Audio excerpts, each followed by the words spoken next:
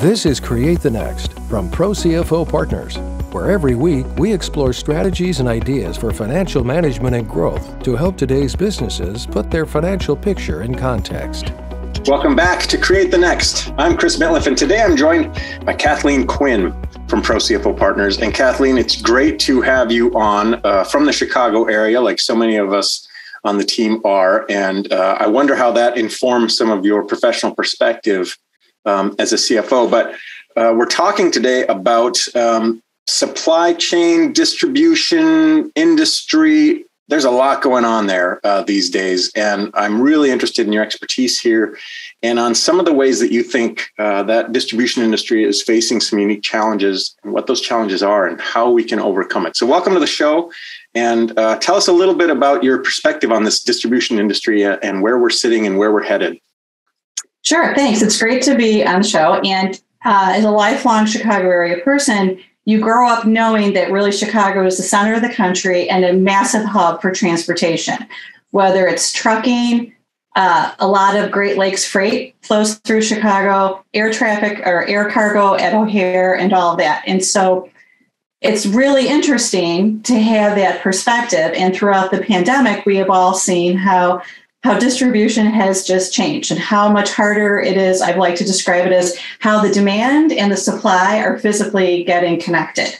Oh, um, and it's everything. And so um, I really like to talk about trade and distribution and supply chain.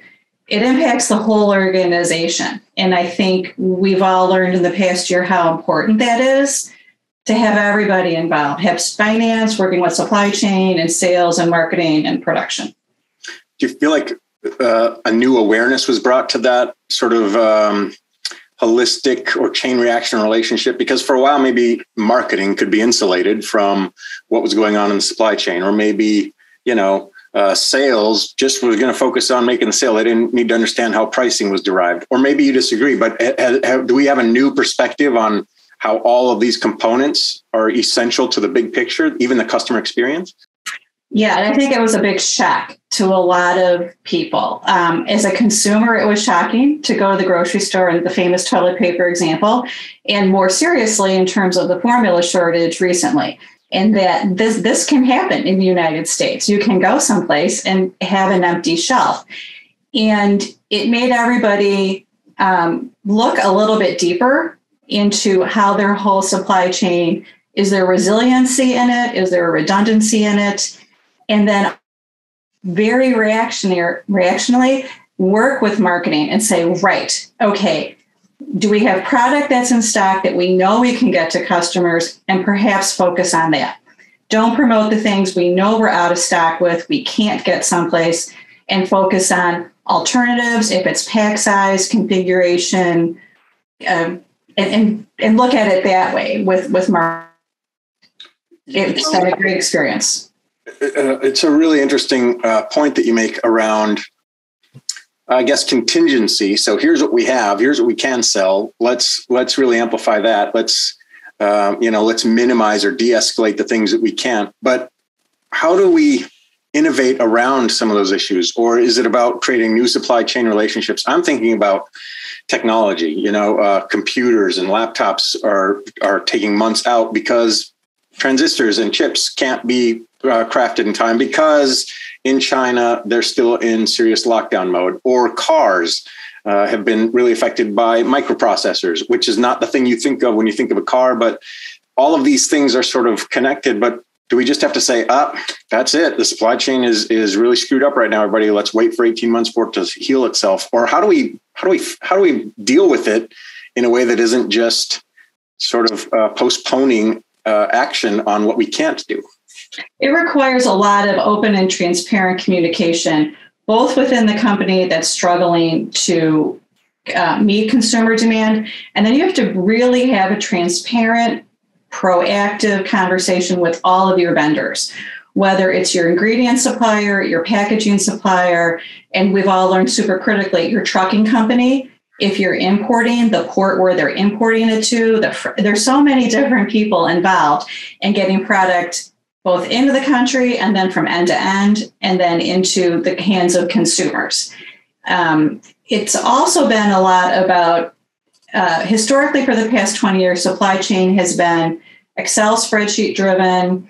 It, it has been probably because maybe some finance people, not me, uh, have said, oh, you know, supply chain is overhead. Do we really need to invest in it? And we all, and there's probably not a business globally that deals in hard goods that did not have a bit of a wake up call and say, we need to understand our process. We need to understand the infrastructure that's available and figure out and understand it's part of the value creation for a company and not just an overhead expense. What a great point. And even as you're talking about, um, you know, people are, are, used to managing their supply chain on spreadsheets. I think there's probably a lot of inefficiencies that exist even throughout the systems and processes that operate inside of an organization where we might be thinking really seriously about an ERP or about the things that make our sales function, and we really invest in that. But supply chain sort of infrastructure, eh, it runs itself or it takes care of itself, or this thing that we've been doing for 15 years to manage or report on it or to understand it has been working fine. And as you said, now it's like this huge shock of cold water. Do you feel like there's been a new sort of awareness of maybe the things we took for granted or the inefficiencies just in how we're managing supply chains in organizations and how do we deal with that? Yes. Like anytime in any of my jobs, I've had to deal with getting things around. You never worried, right? You could always find a trucker. You could find a truck. You could find chassis. You could find an ocean going vessel. You could find a freight forward with capacity. You, the gas prices weren't what they are currently. And so it just worked in the background. We said, okay, customer X is going to order 40,000 pounds of product to be delivered on a schedule. And it happened seamlessly. And then the pandemic, when everything stopped, if we think about it for a second, everything physically stopped where it was. Trucks stopped, chassis, truck drivers, everybody stopped. And in supply chain, once you do that, you just create a massive hiccup because the system had been built on continual movement. And when everybody stopped and went home or didn't go home, it created shocks in the system. The ports in Europe weren't shipping for a bit. So all those containers are stuck in Europe. All the product is stuck in Europe. Then you have warehouses here in the United States got depleted super quickly because there was no inbound freight. I forget what it was, four, six, or eight weeks. Then all the containers have to get unloaded, but nobody's working because of COVID. And it just, just spiraled into this situation of everybody had to literally, we'd be in meetings, stop and think, okay, how many people do we really need on first shift? How many people do we need on second shift? Do we need to bring people in over the weekend? And everybody, the famous word of the pandemic is pivot. There was an instant pivot to how do we respond? how do we help our customers? How do we help ourselves and make sure that we don't financially harm ourselves as well? And so pricing throughout the entire supply chain became a much more proactive and strategic conversation and decision making process.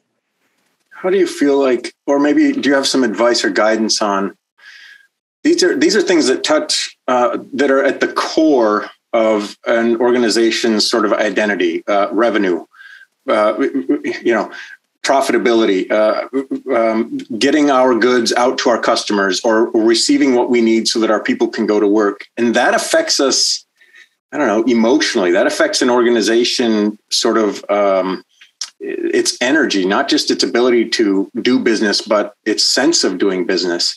How has that, I don't know, shaped the way? Because we know that customers have had we, nobody thought about baby formula until we really had to think about baby formula. And now it's that sensitivity is brought top of mind. If I'm in an organization where this has really been, I've been struggling with this, how do I keep my morale high? How do I keep my folks engaged? How do I not just sort of say, this is overwhelming. Uh, I, am in over my head. I don't know what to do. And just sort of, of remove myself from panic mode. What do I do? Do you have some advice? There, there are two parts of it. I think this is an excellent opportunity for leadership to be transparent with their teams about what the existing situation is and what is the struggle. It's also a great opportunity for leadership to broaden the problem solving pool and idea generation within an organization. And when you do both of those, you're transparent and you ask a wider group of people for help and insight and ideas. Um, you have more people in, uh, with ideas and input into the process, and you end up with a greater variety of things to talk about and hopefully better outcomes. I love this second idea. Let's unpack that a little bit. What do you mean more specifically? Who should I be talking to? Who should I be if I'm used to talking to the same six people on my in my C-suite or in the boardroom, who should I be reaching out to? Who in the organization do I normally not hear from that I should be hearing from? Or should I be focusing groups or or surveying or give me some some ideas? I would say the next level, one or two down of what we might call frontline management, boots on the ground management what what do they see? What do they hear from their team? What are they seeing when they talk to the vendors and suppliers? Because sometimes there can be you know the ceo is here and the dock receiver is down here right? There could be three four five levels depending on the organization. And the same thing for outbound shipping the people loading trucks and all of that. And sometimes they'll have they'll have great anecdotal experience. It says you know what? The trucks from trucking company a they're the best at showing up in the morning. They're terrible at the afternoon, but they can show up in the morning. And, and just start to problem solve like that. Or it's really hard to get the second shift staffed because in the pandemic, there's no after school care, and anybody who has kids and involved in childcare can't do that. So, is there a way we can just think about rebalancing the workflow, the work population. So we have people really working 6 a.m. to 2 p.m. so people can get home for kids at school. Um, and it also could be calling vendors and saying, like accounts payable sometimes is the person who gets all of the crabby people calling and looking for money. You could talk to the AP person and say, What are you hearing from vendor XYZ? What are they frustrated about? Why aren't they paying the bills on time?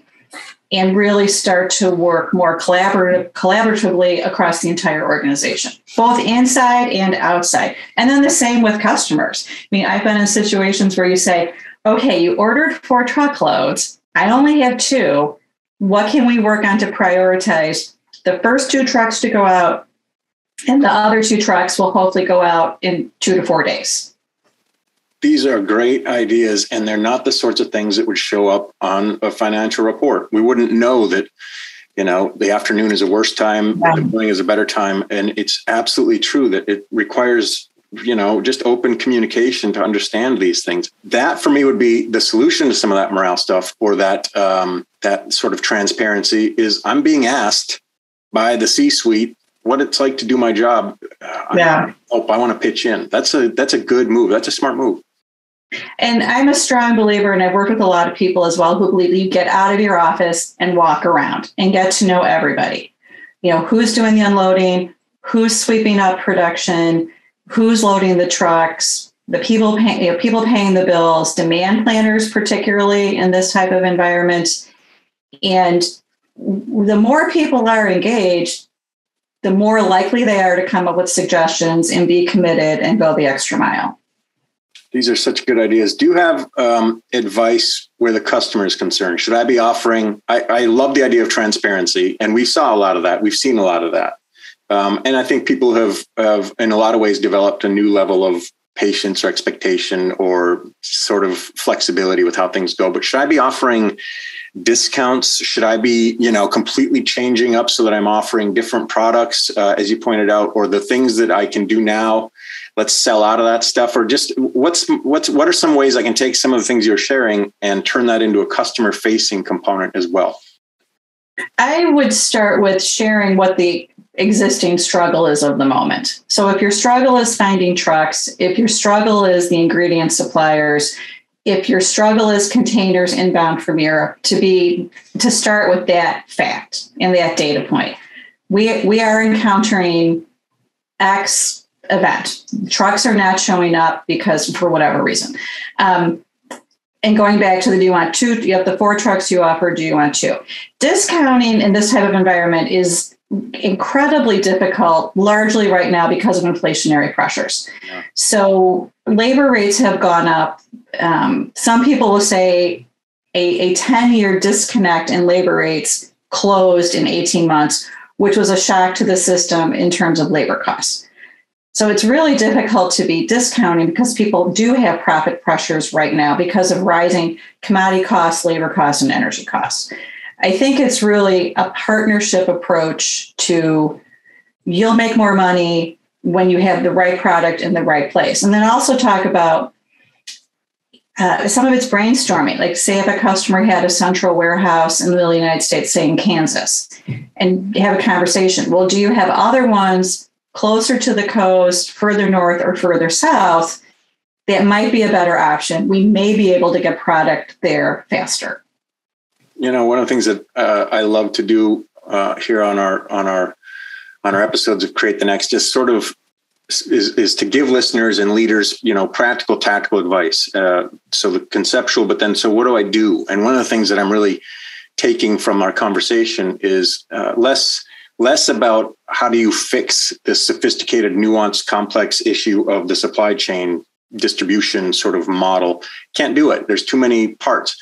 But what I'm hearing you say is transparency, involvement, communication, are ways to not fix but manage and uh, and cope when these situations are happening. And in some ways, that can strengthen relationships inside the organization with vendors, with suppliers, uh, even with customers. And I think that's really good advice. Yeah, collaborative problem solving is always great. That's there's no there's no stronger uh, bullet point we can put at the end of our conversation than that. Uh, Kathleen Quinn, so nice to meet you. So nice to have you on the show, and thank you so much for your expertise and your generosity in sharing it with us today. Just a ton to unpack, and for me, I think just to feel a little bit less, uh, you know, panicked uh, about where we are, and just to take some actions that can help us um, cope is, I think, a really important step inside of this business environment. Thank you. You're welcome. Great to be here. Thanks, Chris. Thanks for watching, and a special thanks to our subscribers. Consider becoming one today. Visit ProCFOPartners.com for more strategies and ideas for financial management and growth to help you put your business's financial picture in context.